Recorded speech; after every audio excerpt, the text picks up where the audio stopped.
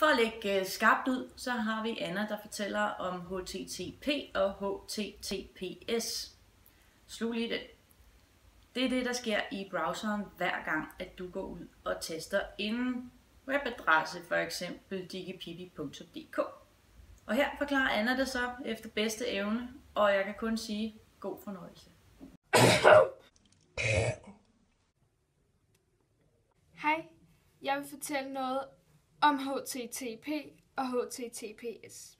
Til jer, der ikke ved, hvad det er, så er det, når man skriver en hjemmeside, eller man behøver ikke skrive det, men den kommer for det meste af sig selv, så foran adressen så står der for det meste HTTPS. S'et, det står for sikkerhed. Så til alle de hjemmesider, hvor at der står HTTP, eller slet ikke noget, det er ikke så smart at gå ind på dem, hvis I nu ikke ved, hvad det er, hvad det indeholder.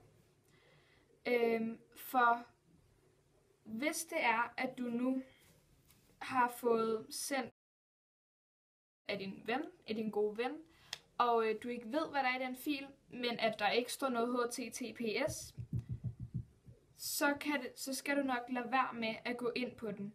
For det, det kan være, at der har været nogle andre mennesker, der har været, der har været inde og hacke din vens mail, og så sendt den her fil til dig. Og hvis du åbner den her fil, vil de stjæle alt din data.